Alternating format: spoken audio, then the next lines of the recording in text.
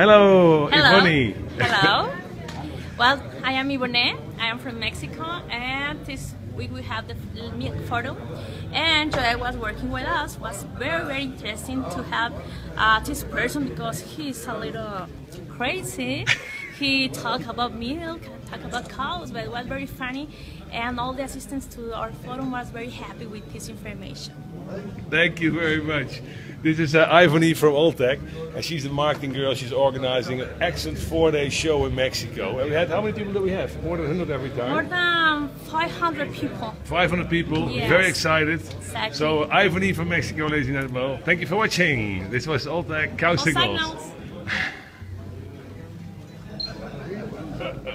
Bravo, bravo.